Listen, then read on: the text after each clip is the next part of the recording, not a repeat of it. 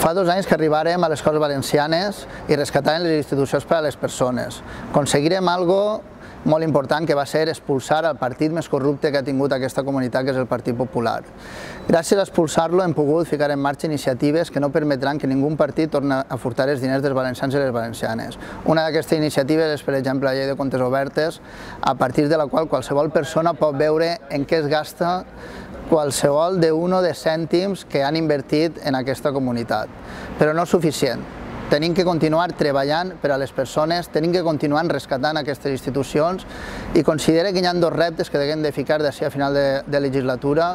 Un repte molt important és el ficar en marxa l'auditoria ciutadana del deute, per a que sapiguem en què s'ha gastat i en què s'ha malgastat cada un de cèntims i dels euros que va utilitzar o va furtar el Partit Popular i a més devem d'aconseguir algo que és de vital importància per a totes les persones, més en el context d'emergència social que vivim en aquests moments. I és una renta bàsica universal per a totes les persones.